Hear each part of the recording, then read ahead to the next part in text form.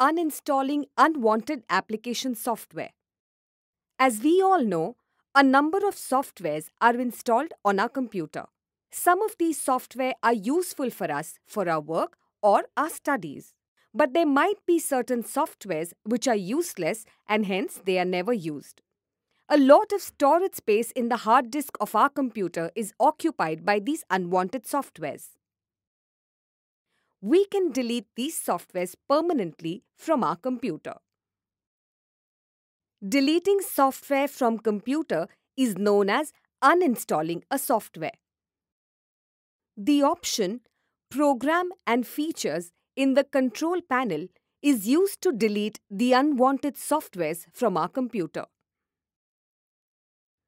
When you click on the Program and Features list, the window Uninstall or Change gets opened on your screen. A list of all the softwares installed on your computer will be shown in this window. First, we have to select the software which is to be uninstalled. Now click on the Uninstall button. After this, a window asking you to confirm removal gets opened on the screen.